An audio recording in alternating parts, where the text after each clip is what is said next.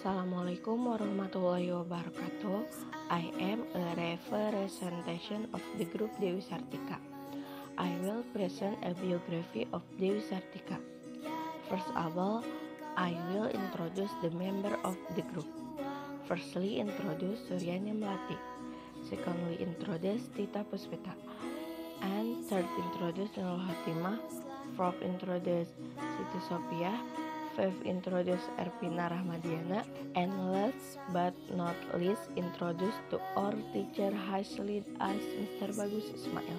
Okay, just direct the biography of Dewi Sartika. Orientation Dewi Sartika was born to Sundanese noble parents, Raden Rangga Salma Negara and Raden Ajeng Raja Permas in Cicalengka on 4 December 1884.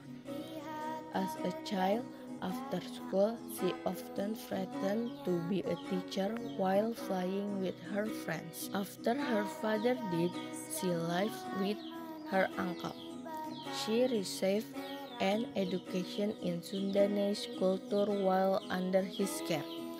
While her knowledge of Western culture was passed on to her from the wife of a resident assistant in 1899, she moved to Bandung. Even on 60 January 1904, she found a school named Sekolah Istri at Bandung Regencies Pendopo, which later was relocated to Jalan Ciguriang and the school name changed to Sekolah Keutamaan Istri. or Wife Eminency School in 1910. In 1912, there were named Sekolah Keutamaan Istri in cities or regency in West Java, or half of the cities and regencies. And in 1920, all of the cities and regency had one school.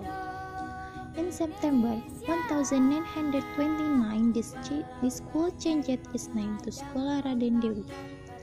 Died on 11 September 1947 at Cineam, Tasikmalaya, while she was evacuation for Bandung due to the Independence War. Reorientation We as the younger generation must remember the service of Dewi Sartika. We should not forget his enthusiasm and service in fighting for education for women.